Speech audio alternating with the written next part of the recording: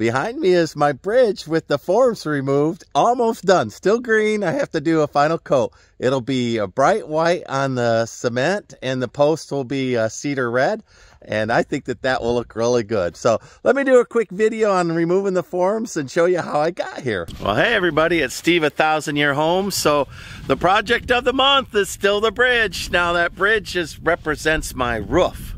So uh, you see a bridge, but I actually see a laboratory that's going to be used for testing everything related to my bridge. So real quick running through all the things that it's experiment. So I have earth bag there. I have hyper adobe there. I have mortar here and I'm using concrete there for stucco. On the bridge itself, I have three different, uh, four different zones. I have a zone of all pure concrete. I have a zone of, of uh, one bag of concrete to two bags of stucco for here. I have a 50-50 stucco mix. And then lastly, I have a half and half stucco and concrete. Now the bridge I wanted, uh, you know, to last a thousand years. And it'll get foot traffic and whatnot. But a roof doesn't get foot traffic. A roof will just be more static. So in each spot of the bridge, you'll notice that there's circles. These circles are to test the wearability of um, lightweight concrete. Half of the holes will be filled with various formulas of styrofoam concrete. Half of them will be filled with perlite. Now, I've kind of already decided against perlite, not because technically it's not superior. It is. Uh, it reflects heat out, which is something that I'd like. Simply, I don't have a perlite mine around here, so it's very expensive. Where um, styrofoam I can still get for free. It's harder. You used to be able to get it easier. Uh, now it's is feeding back into the recycle uh, loop pretty well because there's money to be found. But um, anyway, I'm still getting styrofoam for free. So today's day uh, job, and I do apologize, there's high winds out. I'm about uh, 70 hours away from a massive winter storm. I'm just trying to get things done before it shows up and it gets too cold and unfun uh, to do work. So today we'll be pulling off all the molds and forms and I didn't put on any of the forms I didn't put uh, oil so I should have sprayed them all with uh, used motor oil which I did have I just, you know, there's more, there's just more things to do than there's time to do it when you're a solo builder. So on the top of it, you'll notice that I've got the one decorative sconce.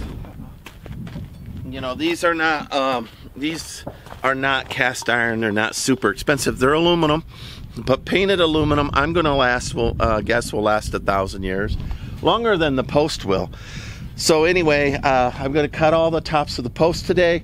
Just get uh, ready for the cosmetic. If I have time, I'll run to town and I'll get pure Portland cement and I'll uh, start making different mixes of of um, lightweight concrete for the testing. And then lastly, if I get a lot of time, let's say I'm, I'm super fast and I get it all done, I will um, stucco that side uh, of the earth bag and start doing the uh, stonework on top. The bridge itself will have uh, stepping stones that'll come out in a fan pattern on both sides and I'll raise the dirt up so that somebody can walk uh, even when it floods up to the drive and up to the house using this as an area. So the path itself will be raised earth. Uh, there's lots to do. I have a couple of flat tires that I need to pull off today. I couldn't get them back on the bead, um, so I'll pull them off, take them to town. There's lots to do. It is the weekend. I'm gonna put you on stop motion because it's high wind, and that's super high to do my video, super hard to do my video in high wind. So this actually uh, worked out really, really well. I was originally uh, worried that the uh, cedar and the uh, old uh, plywood would not come off of this concrete, but it came off really, really well. So overall, I'm I'm super pleased with the design. So uh, I just put everything together with just simple drywall screws. There was nothing special going on there. So uh, those straps had kept the post straight the entire time. So off they go. It's kind of fun to watch this thing be reborn, you know, and and um, I, I really, this is the most fun. Uh, there was a couple of days of rain, or I moved around to the other side. There was a couple of days of cold and rain in between. So this is three days old. I didn't do any uh, outdoor work yesterday. I did other work instead. Uh, once I get the uh, the plywood off and the cedar off, then I break loose the molding um, of the uh, the sheet metal, and it came off really really well. Underneath there, I need to get underneath the bridge and wade underneath there and unscrew where I had wrapped it around the Da Vinci post, the long post, and then I had stuffed it with uh, stones and spray foam as well as pumice stone so uh, there we go. So it came off. I didn't vibrate the the mud down. These these were just dumped one after the other after the other. If you watch my videos, uh, Scott came out and helped me do this work. But um, this mold it worked worked really really well. I wish I would have caught some of those uh, spray foam. I'm not worried about them structurally, but those little bits of spray foam in there, I would have peeled those out before I poured, and then I would have had even a tighter uh, seal for the uh, uh, concrete. Uh, anyway, I didn't vibrate it down. I'm not too worried about all that. All right. Well, I've got it all off. Let's go ahead and go under and take a look at the coyote fence that has the lava stone on it. See if it's uh, rough enough and good enough to be a ceiling, right? Like visually up, uh, you know, 10, 12, 14 feet ceiling. So I'm going to hold on to the camera while I wade in, so if I drop you in the water, apologies. I hope not. let's, for the drama's sake, let's get me on here. Now I did put steps on this. Uh, these earth bags have got have steps. So all right. So I'm down. My uh, Amazon waders are doing okay.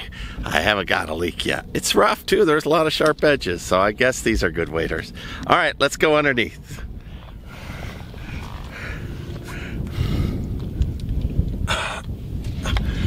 All right, so here we are. We're underneath there. So uh, let's take a look together. Well, if you were down, you know, on the bottom of a floor and you looked up, that's not ugly, right? That's rugged and rough. Look there where I stuffed the stones in the crack. Well, that looks pretty good. So my goal here with this bridge, of course, I'll get rid of this foam, uh, expanding foam. I put it in there anywhere that there, oh look, that, that one's holding us whole stone. I uh, put the uh, expanding foam to keep the cement, of course, from falling out. I'm not worried about what I'm dropping in the pond. The wind will blow it all into one bank and then I'll clean it up. I do not leave trash on this farm. Uh, it bothers me. So, you know, what's the point of having an organic farm if it's all filled up with, you know, trash? Well, I'm working at it. How about that? I'm working. Uh, so, but yeah, I spend a good deal of time cleaning up. So, anyway, if you were 20 feet below, you know, I'll get you as far down as I can before I put you in water.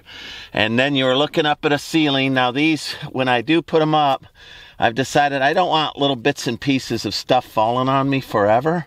So I'm going to go ahead and um, uh, do the clean these better with a wire wheel. Get the uh, to get the cedar perfectly clean, which I have in the past. Uh, this bridge was just the roughest state I could make a bridge. Now let's take a look at the the bridge itself, will it last a thousand years? Well, I don't know. You know, I, I wrapped the concrete around the cedar. I'm going to go back over it with, um, I'm going to go back over it with, uh, you know, white. Look how thick that girder is, right? That cement girder. And it goes down to the post on all sides. So I think it'll uh, last a thousand years. Anyway, I'm going to wrap that with uh, white stucco or white mortar, as white as I can get it. So uh, this rough surface, this rough texture, I'm good with it because I'm going to end up um, mortar coating it. Now, the winter's coming and I don't know how long it takes before uh, I can coat a green concrete. This was poured three days ago. So three days ago, in any place where there's a void, I could have been a little more careful with the spray foam. but uh, that's not going to cause a stru structural collapse. I've got six inches of concrete weighing against it, a, a cap. I've got all of those cedar fence. It it's not going anywhere. Those little voids, now, on a pedestrian bridge. And really, realistically, if I had poured this for just farm traffic over a, a culvert, I'd be fine with that too. It wouldn't bother me at all. Three inches of high strength concrete there two inches, inch and a half up at the top. Still got a little crookedness to it. I'm hoping to take that last bit of crookedness out when I um, uh, put white mortar on there or stucco. And then the post I'm going to clean up right now. I'm going to cut the tops, prep those for paint, and uh, get them all even so that it looks good. All right. Take a look at the uh, the molds. I didn't use any mold release at all. I just used cedar pickets. They came right off, they didn't stick. And then over here, this is flashing of some kind. I, I pulled it out of a, if you watch my videos, I pulled it out of a dump. It was crushed in a tornado. I do know that. And all mangled up. So it was good for me to beat it out, make it straight again, and use it for those. That looks pretty good, really does. Uh, I'm thrilled. Uh, if I get time today, I'm going to run to town and I'm going to get, I, I just need Portland cement. That's all I need for those test spots. My perlite came in, so I've got enough perlite to do testing. And I'll do a one to one, two to one, and a three to one ratio. I think three to one will be too soft. Once they rot out, I'll chisel them out and pour something in. But I'm interested to see how rugged uh, perlite is, or if I'll have to overcoat it with something. Oh, man, that, that looks pretty good, everybody. I'm, you know, for do-it-yourself concrete bridge, pedestrian bridge, and it's it's not done. It's just all in the rough, but um, the charm of it's beginning to come out. I almost tore the frames down several times because I was so disappointed in how it was turning out. But I thought, well, you know, don't judge a book by the cover. Do it all the way. And uh, it's still not done each one of these sections that are a test section this is a different mix then that is a different mix and that is a different mix and that is a different mix these will all be covered over with uh, one skim coat of stucco in white the post will be red and then I'll think this will be real good oh I did see one failure uh, of the hyper adobe as a dam abutment as the uh, clay swelled it put a crack down the mortar on the back side you can't see it, but I can. I'll patch that too. I'll hopefully get time to mortar that. We'll see. All right, everybody. Thank you for watching me remove the forms from my concrete bridge. I think you'll all agree that, you know, that's a very nice little uh, pedestrian bridge. It's not even done, uh, but I, I'll put the tops on it today, and that way if the winter storms and ice come in, I won't have an eyesore. The one thing I do hope I can do before the freeze is uh, mud that part so that it looks a little like that, and maybe the tops, but uh, I'm not going to kill myself. I think I'm about 70 hours away from massive winter storms. It, it could get too cold. Once you hit 40 degrees, you don't want to mud at all, mud at all because the mud is a crystalline structure that uses water and converts it into a crystalline structure with the uh, limestone. So when it gets too cold, then that uh, conversion process is slowed way down. And then if it freezes, the freezing breaks your structure and you end up with much weaker concrete that just flakes apart. I don't want that, nor do I want that on a stucco. So while I'm trying to build a test bed that's perhaps the most marginal test case possible, I don't want to build what I know is a failure, right? Like, you know, I want it to wear and tear faster than the roof so I know as this wears, so goes my roof, and give me like a two year head start so I could plan to fix the roof. But um, in this particular case, it's looking good. Like, subscribe, follow me along. I think that could last a thousand years because I would just overcoat it every, you know, hundred years when it starts getting a little flaky. When the uh, cedar rots out, I would put in stainless steel or cast iron post. Uh, you know, there's a lot that could be done there. Uh, anyway, like, subscribe, follow me along. Thank you. Bye.